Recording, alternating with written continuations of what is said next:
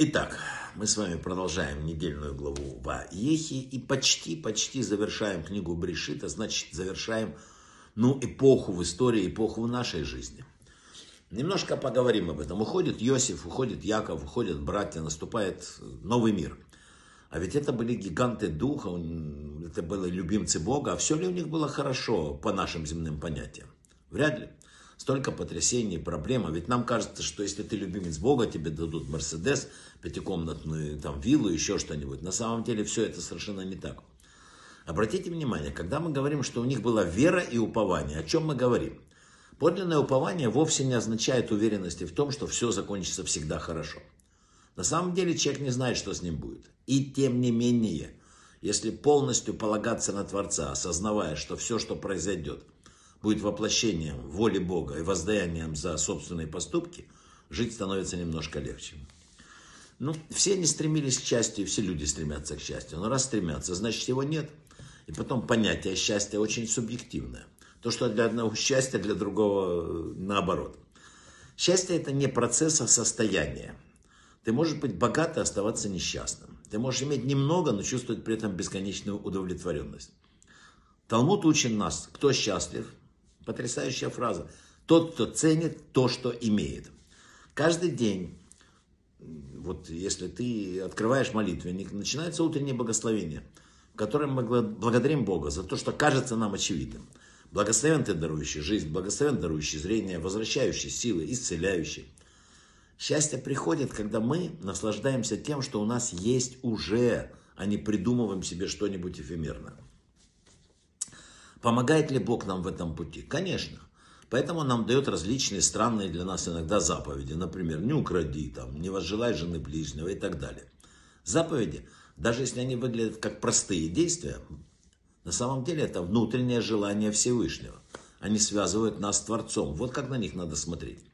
Только выполняя заповеди, надо помнить, что их надо выполнять так, как хочет Творец, а не так, как хотим мы. Ну, например, если взять человека, который включает музыку в шаббат, чтобы усилить свои духовные впечатления от этого святого дня. Он действительно может испытывать высокие духовные переживания или эстетические, но на практике он не исполнил заповедь и не приблизился к Творцу. Скорее наоборот. Поэтому во всем должна быть голова. Как человек может, кстати, узнать, нравится ли Богу его служба?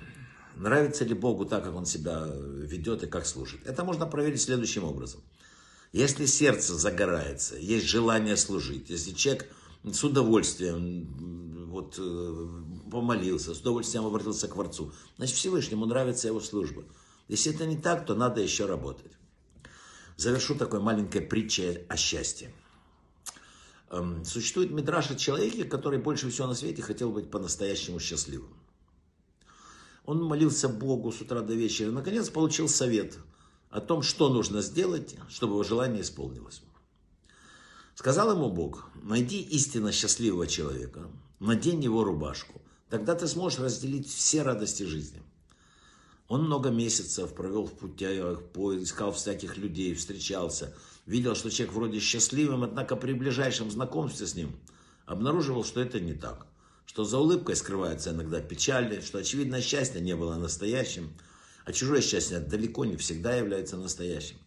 В конце концов, поиски увенчались успехом. И он нашел человека, который по-настоящему был доволен своей жизнью, который по-настоящему искренне радовался каждому дню, который жил в гармонии в мире, с миром с собой. Ой, была только одна проблема. Тот человек был настолько бедным, что он не было, у него не было даже рубашки. Вот такая вот интересная история.